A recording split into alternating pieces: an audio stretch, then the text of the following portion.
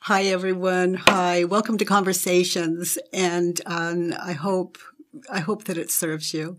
And um, love to be with you, family of the world. And here we go. So, Stan, who was our first caller? Tori from France. So, Tori, hi, honey. Hi. Hi. Hi. Please read the email that you sent to me. Sure. Okay, dear Katie, maybe like a lot of Oh, people. wait a minute. I just have to take that in. That's so sweet. That's so sweet. That's so sweet. You know, when I see someone as dear, it feels, you know, I, I it, it feels truer to my heart.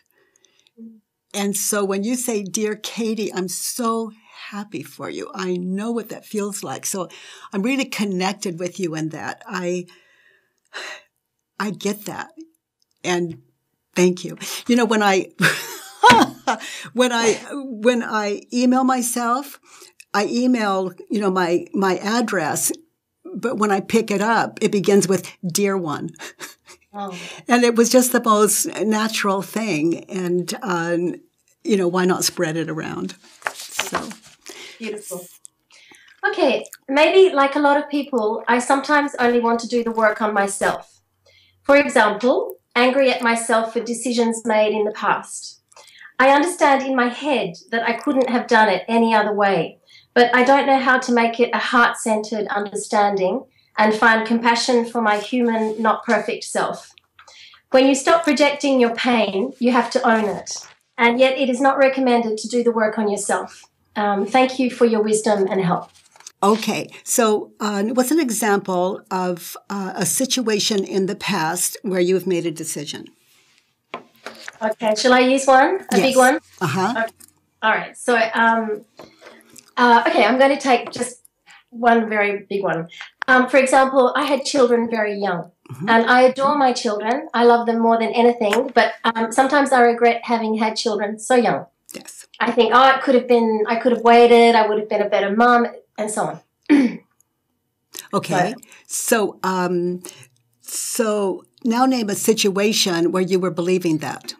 Maybe you were with your children, or where you were watching maybe people free of of not having to live what you're living through. Uh, give me a situation where you were believing that. Um, yeah, probably when I was very, when my children were very young, and I was feeling the responsibility, the incredible responsibility, and maybe feeling out of my depth, um, and needing, wishing I was, I didn't have all the responsibility. Yeah. Okay. So um, you're upset because um, it's it's just too much responsibility for your age. Mhm. Okay. So um, so that would be statement number one. I'm feeling responsible Mhm. because I'm too young to have children at this age. Okay. Okay. So that we'd say that number one. Now, where were you? What situation? Where were you when you had this thought? Hmm. Um, And those of you listening, sometimes it's very difficult to find a specific situation, but if you can still close your eyes, something will come to you. yes. And maybe it was even yesterday, hmm even though number one is there, you know, like when you were younger. hmm Maybe you had that thought yesterday, but we're just looking for a moment in time where you had that thought in that situation. Yes. Okay, you see it? Where are you? Oh, it's a long time ago. Um, I think it, I'm in where I was living in in in France. Mhm. Yes. And and where were you? Inside? Were you alone? Were you outside? In yes, a park? I'm inside. Yes, I'm inside. Okay, Um, and where are you sitting or standing? okay. You see it? Yes, Okay, where are you? I'm sitting down And where? What room? um, in the studio room. And Okay. Now, uh, you see how important it is that you get located. Yes. You get located. When you're doing this work, you get located. That's the situation. You're sitting alone in your living room Mhm. and you have this thought. Okay, you have the thought, I'm too young to have children at my age. Okay. And how do you react when you think that thought? Um, I feel overwhelmed. I feel very sad, very Yeah. Mhm. Depressed, cheated, burdened, yes. victim. Yeah. So you see you sitting there in your mind's eye? Yes. Okay, look around the room. Are there flowers or is there um, window where you can see outside? Look at the, is there other furniture in the room? hmm Notice where you're sitting. Notice how that chair supports you. Yes. Okay, so without the thought, who would you be in that moment? In that situation, sitting. I would just be there, available for my my child, and and at peace Yeah. with my situation. Yeah. Is your child crying at the time or needing your attention? No. Well, then you don't have to be there for your child. She's not asking you to. Mm. You see, in that moment in time. Mhm. Now, notice what it's like to sit in that chair without the, I mean, with the thought, I'm too young to have children at my age. You see the burden? Mhm. Now, without the thought,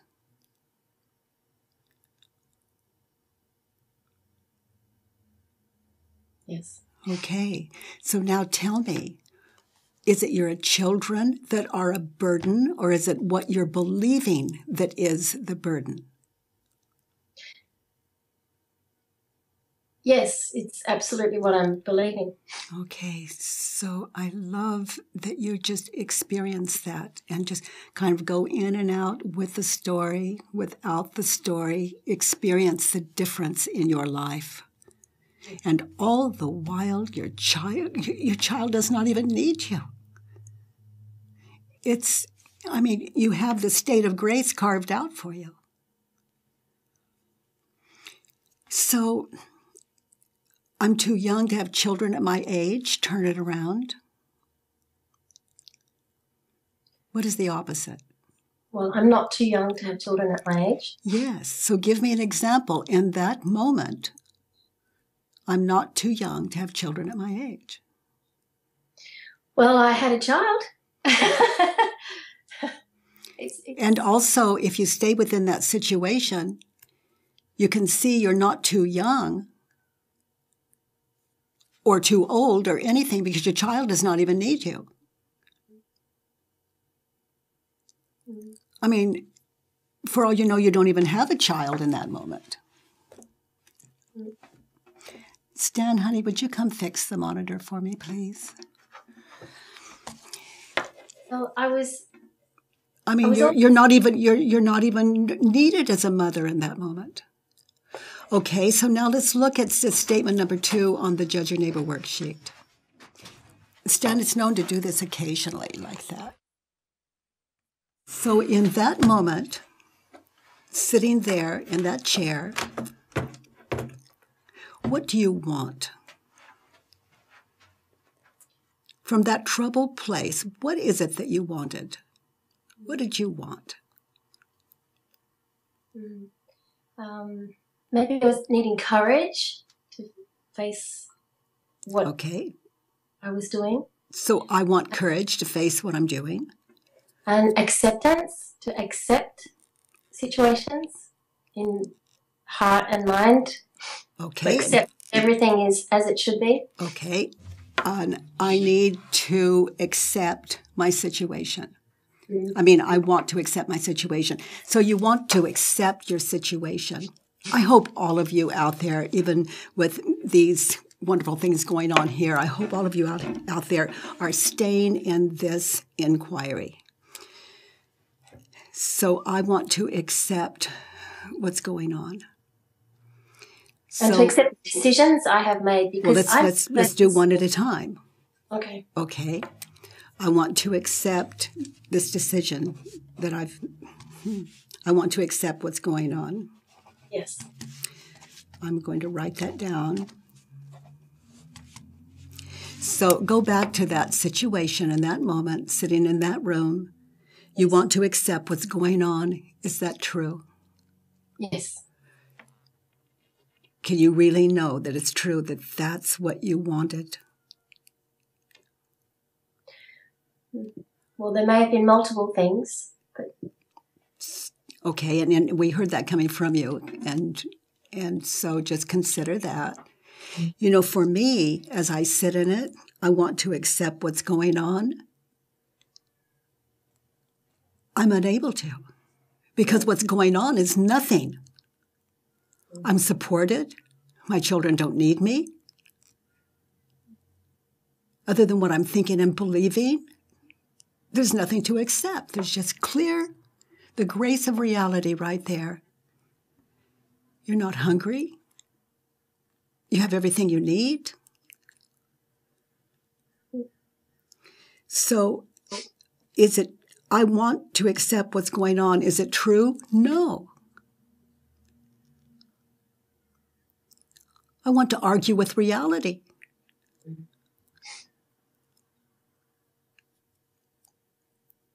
See, what's going on is going on whether you accept it or not. Yes. So it's a big question. And I know there were, for a long time, I would answer that question yes, it's true. But then as the work began to work me, I began to just laugh at these things. I want to accept what's going on. It's hilarious. No, I don't. Here it is in front of my face.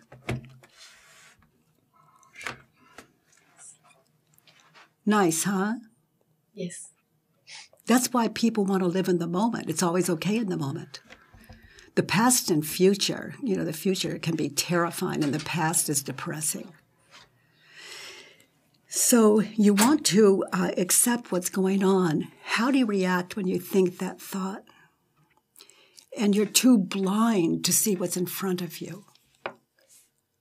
What happens emotionally when you think the thought, I want to accept what's going on? I guess I feel incapable. Yes, because you see images of past and future. So you're in a dream. You're not sitting in reality, even though you are. You're lost in the dream of their they're crying for me and I can't do it. I'm too young or or um, I'm going to have to take care of them the rest of my life. I can't afford these children. On and on and on. You see that movie that was happening in your head in that moment, blinding you to reality. Everything was perfect except what I was thinking, in fact. Yes, and imaging. Yes. In your mind's eye. You were believing everything you believed about those images. The way you story tell upon those images in your head cost you life. so important. These four questions are so important. So, who would you be without the thought, I need to, I want to accept what's going on in that moment? I wouldn't have, I wouldn't feel under so much pressure. I wouldn't have the weight. Yeah. Of, you would be what's going on. Mm. What's really yes. going on? I'd actually be in the moment. Yeah. Chair, young woman, ceiling, walls, reality. No child in sight. Mm-hmm. And this works even when there's a child in sight. You know, it's just a, another worksheet, or maybe it comes across on this one. So, um, I um, I want to accept what's going on. Can you find another turnaround? I don't want. Okay, I don't want Did to. we accept- do that one already? No. I don't want. I don't want to accept what's going on. Yeah, because it's going on in all of its kindness, whether you notice it or not. It just keeps giving and giving and giving. There is no time in anyone's life when they are not okay. Because you don't have to accept what's going on. That's you have, right. Do, you have a choice? That's the. You know, not as long as you're thinking, it, not as long as you're believing your thoughts. And as far as reality, it is what it is, and you can trust it. You know, people have um, problem trusting. You can trust reality because it's not going to shift or move for you. And I love that. It's like bring it on once you know the nature of the universe, that it's kind, that it's generous and giving and 100% for you in service to you. Once you understand that, there's Exactly. no fear of just noticing what's going on, wanting to accept what's going on and it being true. Like I'm sitting here with you, the end. Okay, precious. So, um, in that situation, what what should or shouldn't what advice would you offer in that moment? What advice would you offer um, yourself in that moment? Um, I shouldn't um, expect anything, um, or I shouldn't put added pressure on myself. Okay so you shouldn't put added pressure on yourself. Is that true? Can you really know that it's true? You know for me i can't know my path. Yes. you shouldn't put added pressure on yourself. Or I shouldn't believe what I'm thinking because then, Well, let's stay with with you know just love the one you're with, that concept you're with, because your ego's always going to want to shift it to, oh, this is the one, this is the one, take me, take me.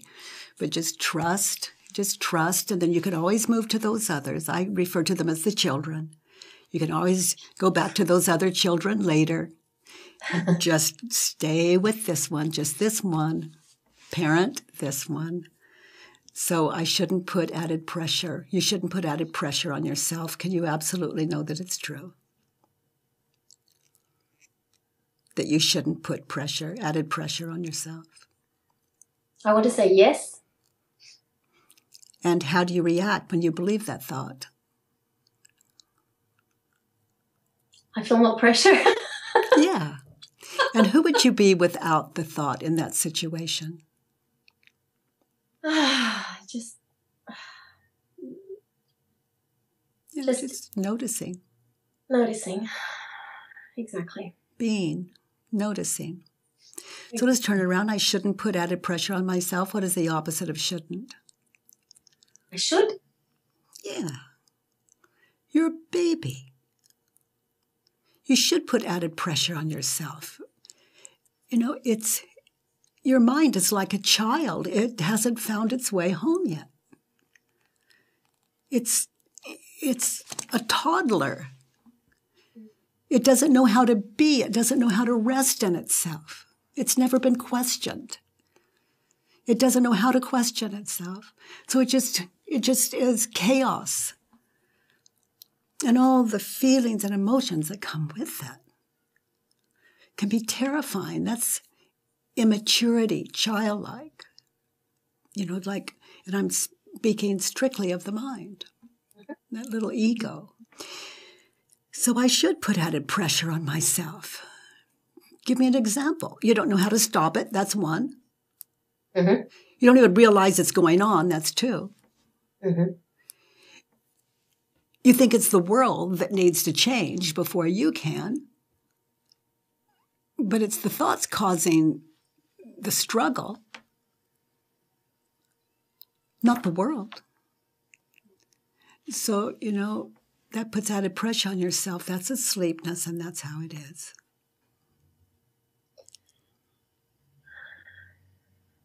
And you know, sweetheart, how to find your way home.